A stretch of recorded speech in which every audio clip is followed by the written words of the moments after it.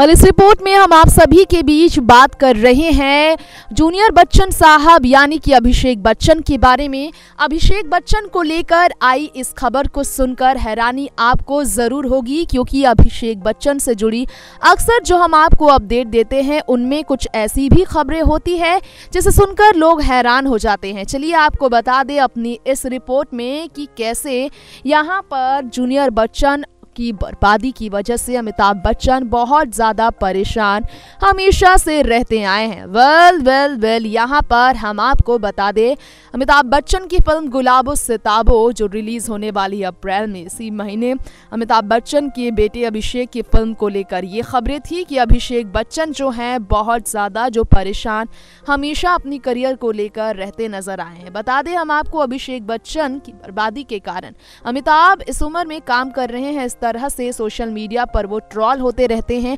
बीमारी में भी वो काम करते रहते हैं, जिसके कारण वो ट्रॉल भी होते रहते हैं और उससे जुड़ी तमाम रिपोर्ट्स हम आपको देते ही रहते हैं।